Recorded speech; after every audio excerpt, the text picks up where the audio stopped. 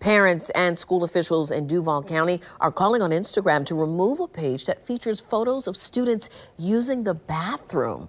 We're not showing you the images, but the page has posted more than a dozen photos of male students at Darnell Cookman School of the Medical Arts. News4JAX reporter Joe McLean spoke to the school district and to parents about this disturbing post.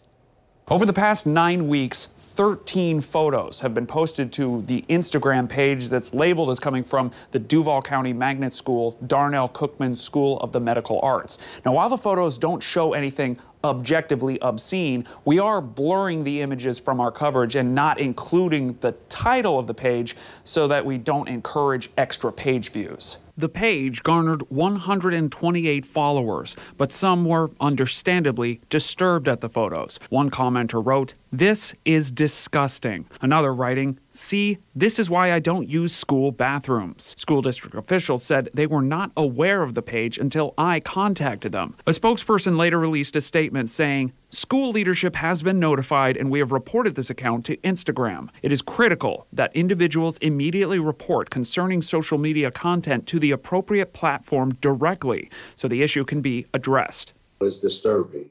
It's invading the privacy. Then you posting them on Instagram and social media, things like this. So it's very disturbing. Tim Sloan's child goes to Darnell Cookman, but isn't featured in any of the photos. While Sloan says he doesn't blame the school for this, he does say the people responsible should face punishment. I think things like this, you know, it needs to be dealt with with severe punishment. I really do.